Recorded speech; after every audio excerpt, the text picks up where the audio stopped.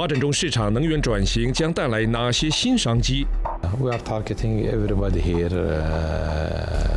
in Saudi Arabia in this market because our market is very open.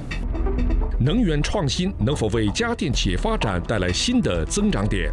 光伏技术出来以后，它就可以，如果全部使用我光伏这种空调的话，节能了百分之几十的能耗。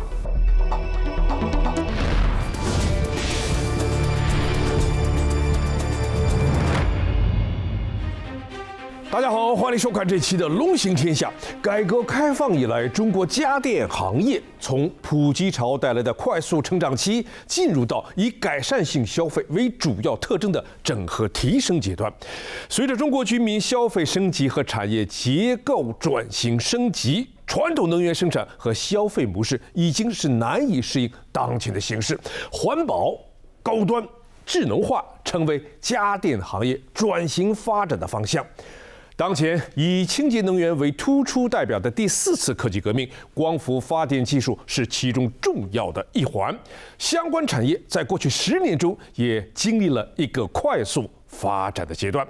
本周的《龙行天下》，让我们一起来了解一下光伏怎样为中国传统家电制造增添新的动力。相关企业在海外市场发展中又如何找到新的增长点？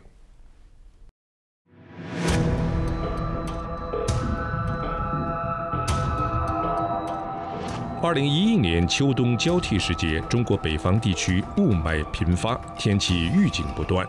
十二月底，中国气象局披露，在过去一年，雾霾天气达到了五到二十天，个别地方达到了二十天以上。这一年，北京也经历了几十年来最频繁的雾霾天气。PM 二点五颗粒物被认为是雾霾形成的主要原因。雾霾频发导致呼吸道疾病病人增多，许多家电商都争相推出了空气净化产品。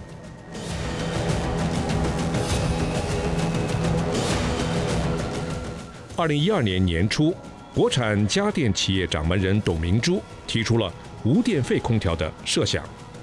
是因为我在北京开人大会，当时正好出现雾霾了，而别人就觉得，哎，你们机会来了，可以赚大钱了。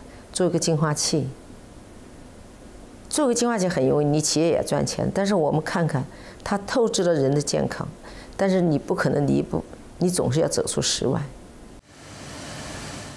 各家电企业都在围绕如何有效净化空气进行产品的研发。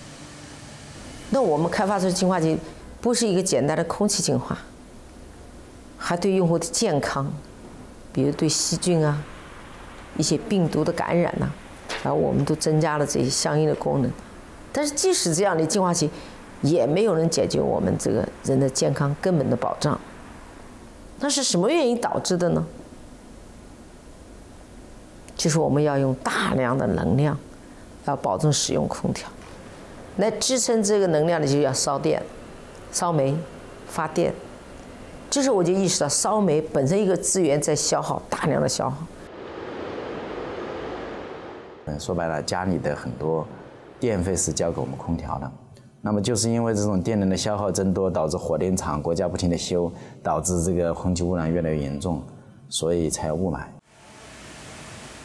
所以后来我就跟我的技术人员讲，我说我们能不能研究一个不要电的空调？是我们口语上的对话，那就是用什么东西来替代这个？后来我们就光伏，新能源。用自然的能量来解决问题。光伏发的电不再通过上网，在变频之后进行直接利用，这是光伏空调系统最初的一个设想。像我们电气设备都属于电器这方面的行业，发电有专门的发电行业，啊，产业不一样，就是这是两块大陆，这两块大陆中间没桥，所以现在我们要搭一个直接联系的路，啊。就是在屋顶、在家庭、在建筑里面，把光伏发的电不通过电网来转，而是通过直驱。现现就是现在，你这线刚走降了多少个丝？如何利用光伏直驱技术将空调变为发电机，利用太阳能发电？企业早早开始了技术研发工作。那么光伏空调属于交直流混合供电层，就跟我们这个混动车一样。那么实际上整个的技术基础，我们回溯往下，就第三次会议、第四次会议、第五次会议就在找搭桥的材料了。所以从零九年的直流的技术，到一二年接到市场、接到董总的这种产品需求的这种安排，我们到一二年大概花了两三个月左右，基本找到了实现光伏空调的方法。就在二零一二年，中国光伏产业遭遇了美国和欧洲的双反调查。为解决光伏发电审批难、补贴难等问题，二零一二年九月，中国国家能源局发布了关于申报分布式光伏发电规模化应用示范区的通知，标志着光伏分布式应用的开始。二零一三年，光伏直驱变频离心机系统在珠海研发成功。这也是全球首套具有光伏发电功能的大型中央暖通空调系统。在这个研究的过程当中是痛苦的，因为你大量的钱要投进去，能不能成功，没有人知道。但是我觉得它是一次有意义的一个呃研究，非常庆幸我们搞成功了。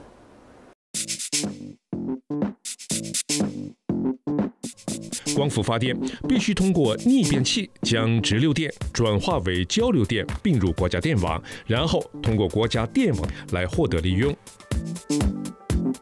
就国内的话，像光伏空调，它需要屋顶，不止光伏空调，整个国家光伏政策的分布式化，这是国家新能源的政策，就是分布式要向分布式转，分布式能源。而城市的话，在这种新兴技术、新兴产品上，它的消纳能力，现在的消费水平、消纳能力是弱，是高于农村的。而我们的农村是有大量的屋顶，啊，有很好的这个光伏的基础和条件，资源禀赋是很好的，但是呢，它的消费能力和水平相对要低。所以的话，这导致我们的这种新型的光伏分布式的这种设备，在国内遇到一定的阻力。国家政策对光伏直流发电自发自用模式能有多少补贴，直接影响制造商对产品的推广。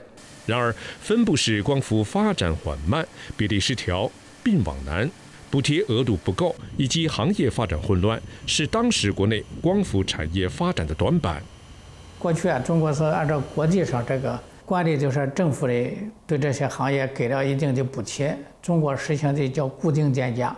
就是风能、太阳能，每一段时间的固定一个上网电价，然后政府的给一个固定的补贴，可能再过几年以后的风能、太阳能就平价上网了，就不需要政府那么不多的补贴了。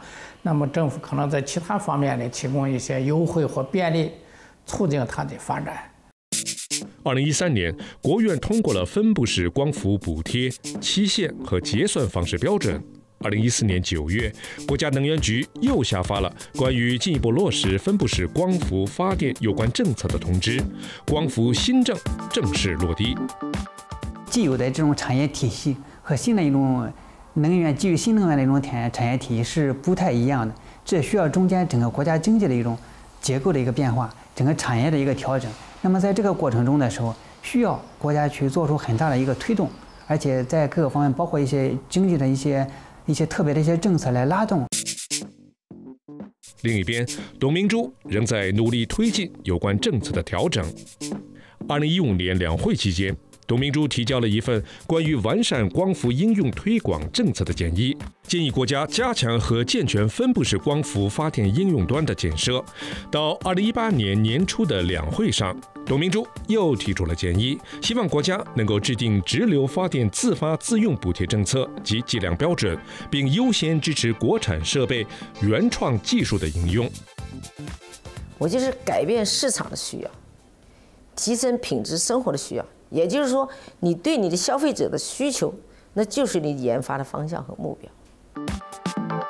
二零一八年六月一日，国家发展改革委、财政部、国家能源局三家联合发布了关于二零一八年光伏发电有关事项的通知，明确加快光伏发电补贴退坡，降低补贴强度。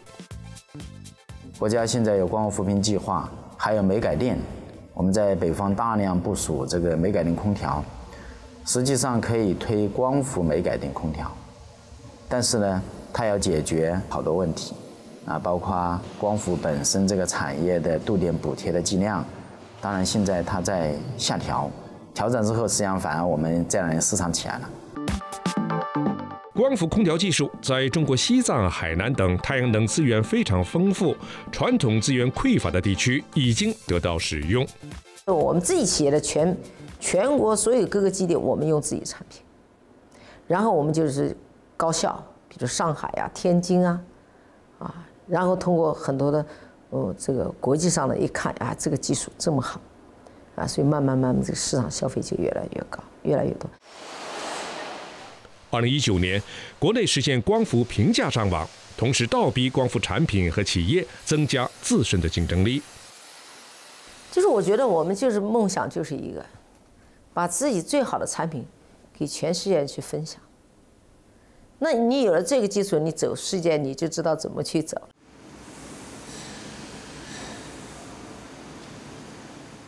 我觉得我们的规划不是因为我们要这个市场，而是我们的产品应该给这里带来改变。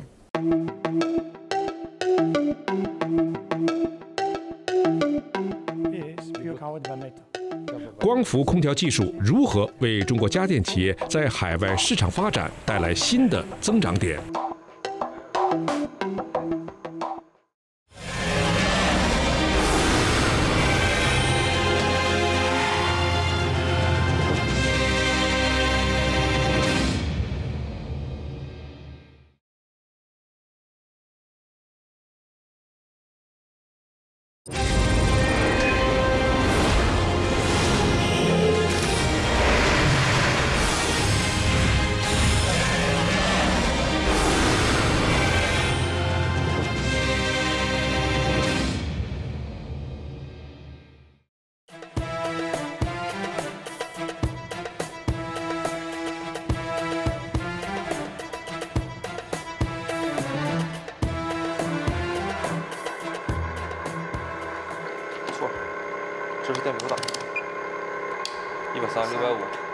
You can collect from indoor side or thermostat.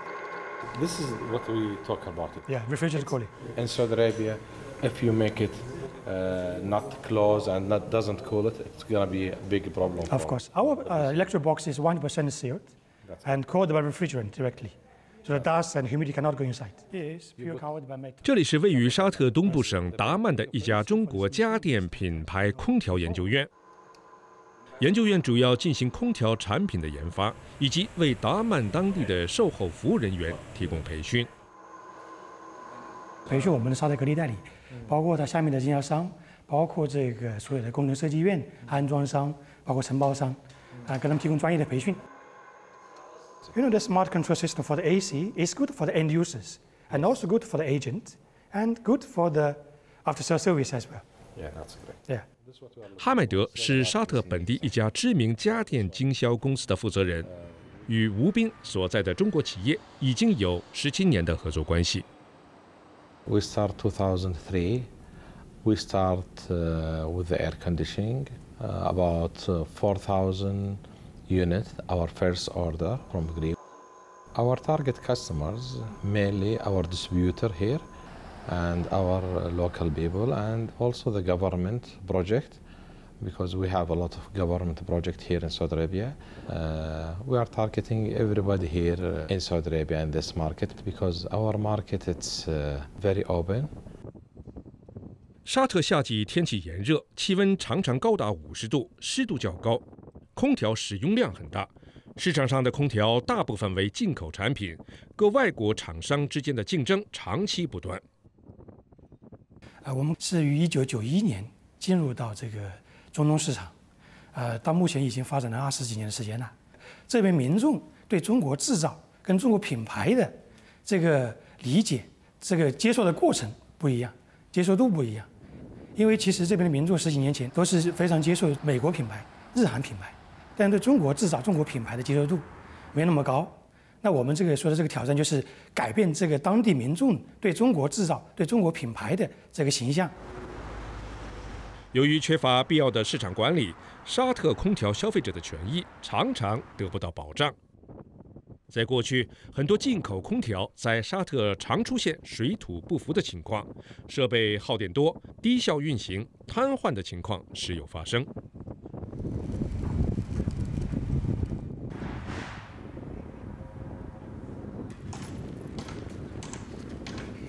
How many square meters for these uh, two towers? I didn't know Cree products uh, until you know I was involved with this project. And um, important is not only um, you know the supply and installation, but I'm looking forward you know for the after sales service. Important is you know for the uh, for your promotion and for Cree promotion in the country is the after sales service. That's why you built the name. 实际上，我们公司的产品呢，啊，在我们实验室里面运行的时候，测试的时候是零下三十五度到六十度这个空间，这个运行范围去运行去测试。那对于这个沙特市场来讲的话，那沙特市场其实这个运行范围可能是到负零下负十度到这个零上呃五十五度。那我们这个产品在这边运行的话，性能方面、可靠性方面完全没任何问题。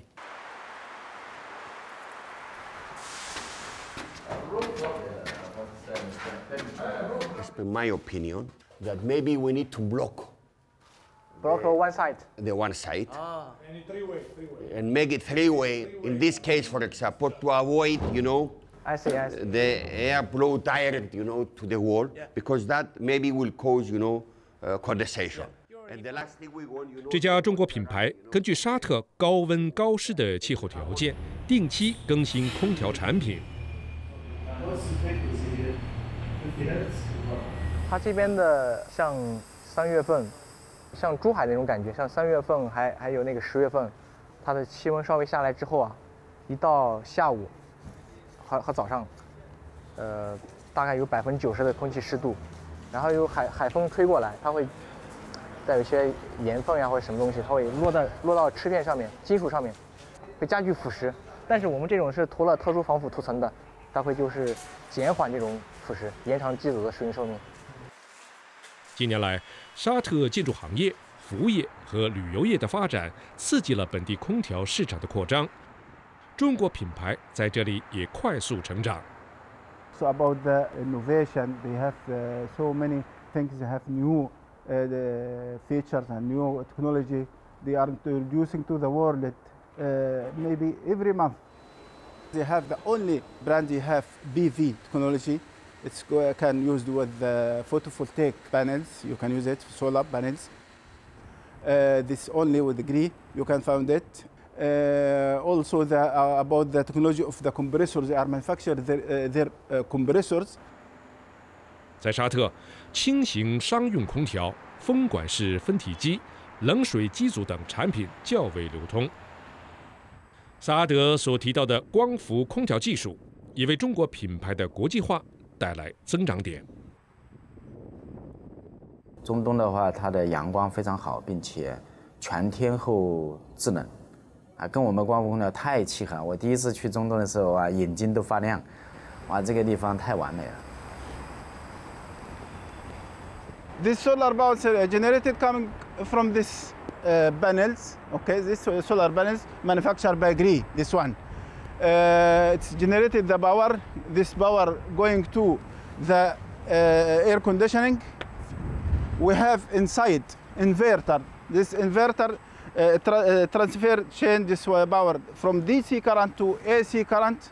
So this AC, this outdoor unit, okay, taking this power, it's working, connected with indoor unit.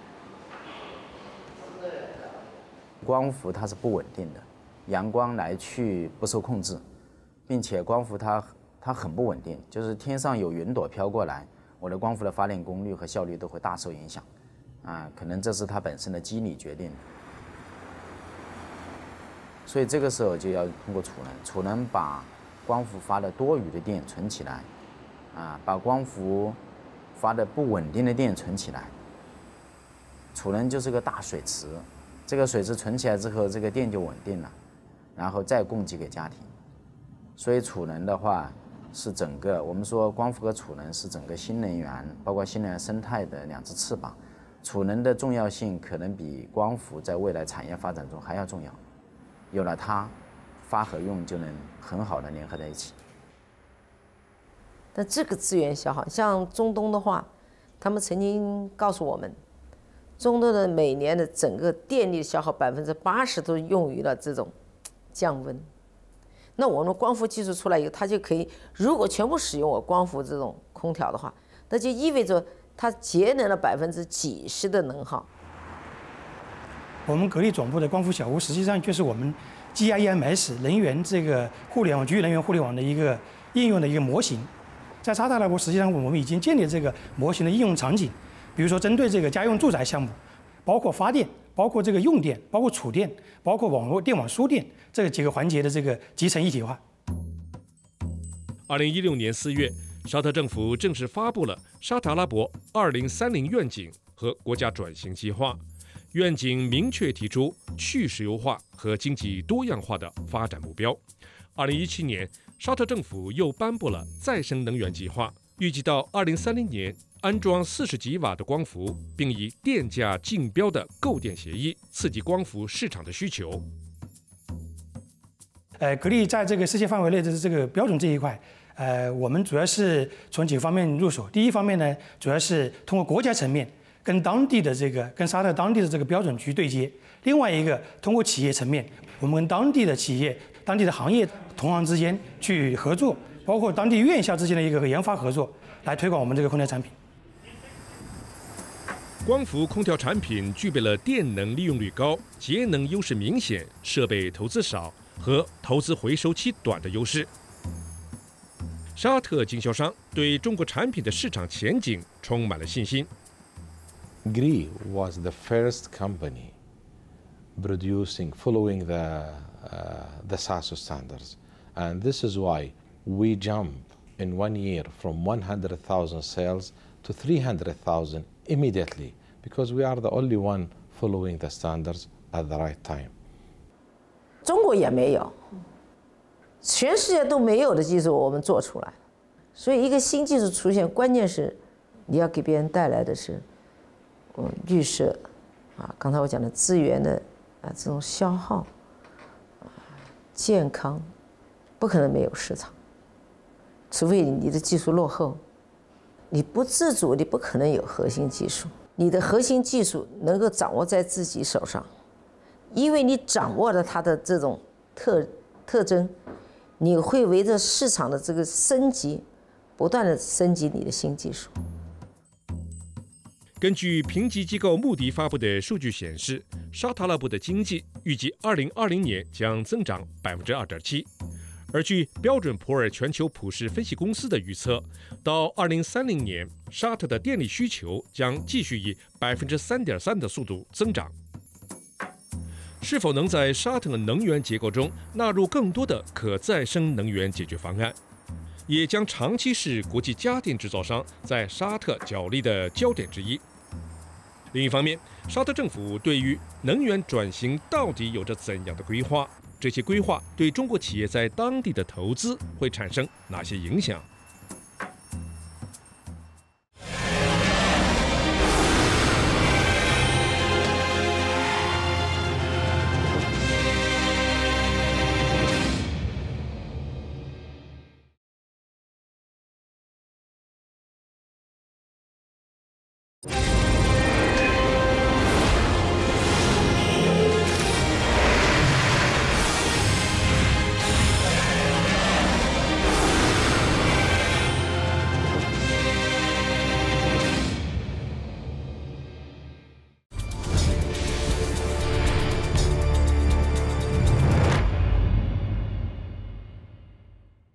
今年以来，国际原油期货价格持续下跌。新型冠状病毒引发的肺炎疫情爆发，又进一步降低了市场的需求。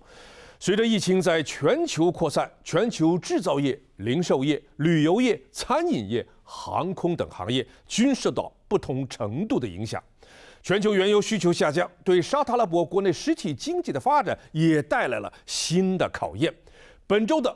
国别之影将带领大家了解一下疫情之下沙特如何来应对石油价格战，以及沙特经济发展计划中的能源转型方案给中国投资者带来哪些信号？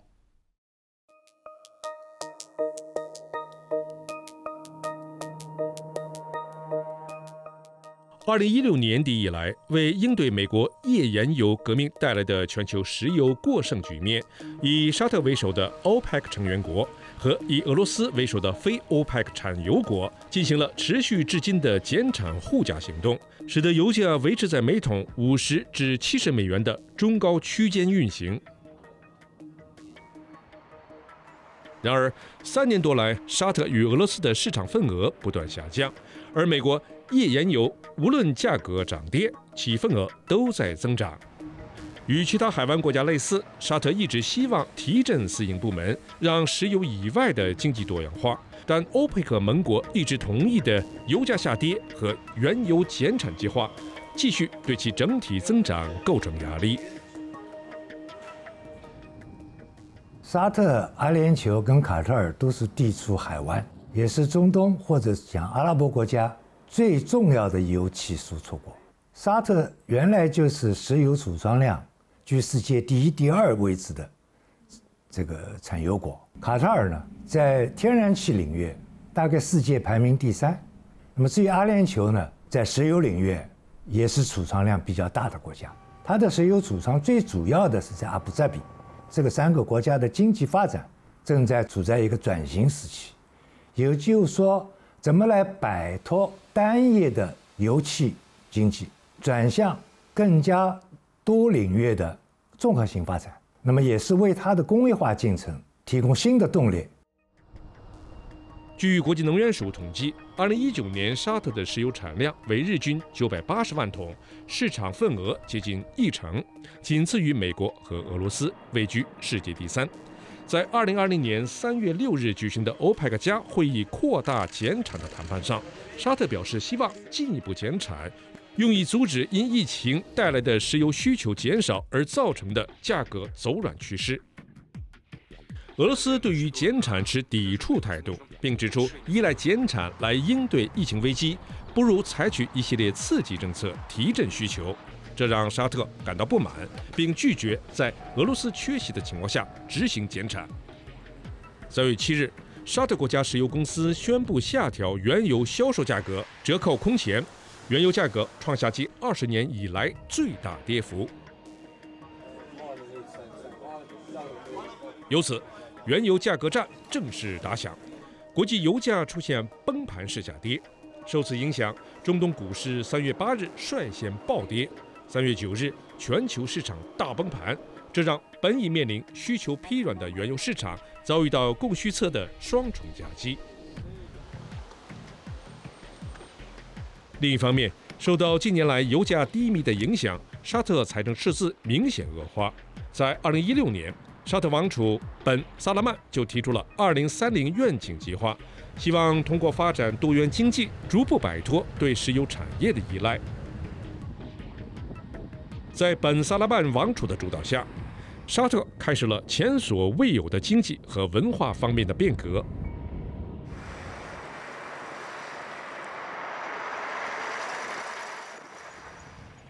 我在沙特呢，将近十一年了。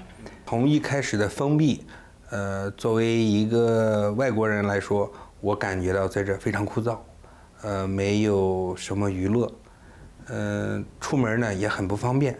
在很多时候啊，由于呃当地的宗教习惯、一些时间方面的影响，我们无论是购物、呃出行，都会产生了很很大的影响。呃，但是随着这两年的变化呢，我们可以看到有很多的旅游签证，呃，也能看到呃这个很多外国人在这个当地啊，呃很方便的通行，很方便的购物。كذلك المهارات التي تشترك فيها كثير من مواردنا الوطنيه مع الشراكات الاجنبيه ستولد كثير من فرص العمل للقطاع صراحه السعودي والقطاع الاجنبي كاستثمارات 沙特政府积极鼓励投资，致力推动内部改革。 随着石油产出增加，经济逐步稳定。沙特2018年经济同比增长了近2.5倍之多。国际信评机构惠誉则在2018年给沙特评级到 A 加。改革初期的成绩让沙特信心倍增，并希望谋求更多的发展。然而，能源转型是一个涉及多种能源种类、多个领域、多个环节的系统工程。对于沙特来说，转型的核心内容仍然是围绕石油工业转型展开，推动国家石油公司上市，将萨拉曼国王能源城开工建设，都是沙特2030愿景中的关键环节。المختصين في وزارة البترول والثروة المعدنية وشركة أرامكو السعودية وهما أدرى 沙特希望将萨拉曼国王能源城 打造成一个全球能源制造和服务产业中心，发展更加稳定和安全的商业生态系统，以支持实现这些项目所期望的增长目标。It's very near to the other industrial cities, and it's very near to the board, which is uh, the main port of Saudi Arabia for the eastern area. And in the same time, it is uh, very near to the borders of Saudi Arabia for transferring the material for export or import. 以能源城项目为起点，沙特不断开放市场，希望吸引更多的外国投资。中国承包商自然是希望能够尽快融入沙特能源产业现代化的建设当中，抓住转型发展带来的机遇。红海沿岸的一个新城，呃，另外一个热点呢是能源城，还有一个热点呢是沙特的呃老首都，呃，这三个热点呢是沙特政府的呃一个新的概念，集中了大量的项目，它很接近我们国家做的千年大计，呃，雄安新区。 المشاريع ولله الحمد البنى التحتية في تلك المدينة تأخذ طابع النمو المتسارع ودعم الاستثمارات الأجنبية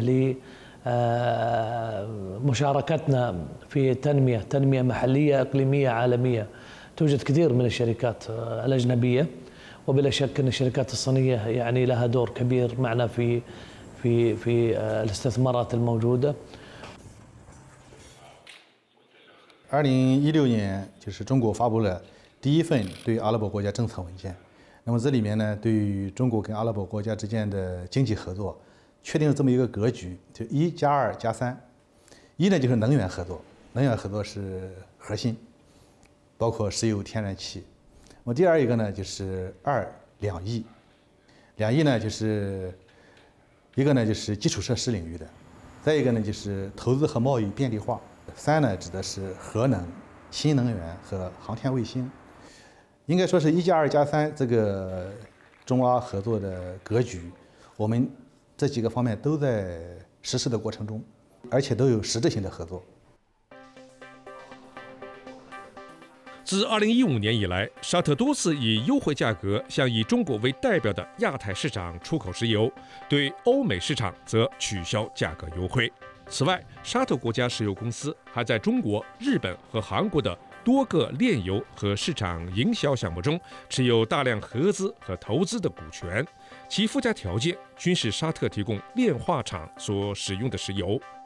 另一方面，沙特能源转型更加重视石油与其他能源、石油工业与经济社会问题之间的平衡关系。在天然气领域，沙特2030愿景规划提出要实现天然气产量翻番，建设覆盖全国的天然气输送网。在新能源领域，沙特政府通过了萨拉曼国王可再生能源法案，并计划到2023年之前实现可再生能源发电量占全国总发电量的百分之十，2030年增加可再生能源发电9.5吉瓦。此外，政府希望提高智能电表覆盖率，实现智慧城市建设，减少人力和资源损耗，提高城市运作效率。这也是2030愿景规划中重要的民生项目。也就是2030年，沙特阿拉伯的这个能源消耗，百分之七十的能源来源也来自于可再生能源，尤其是光伏能源。那这对于我们格力来讲，对我们格力光伏来空调来讲，是一个很好的契机。